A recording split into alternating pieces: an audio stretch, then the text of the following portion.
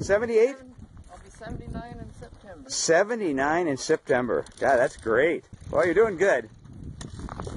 Nothing like the four-wheel Rowbike. and you limbered up more too, huh? Oh, that's great.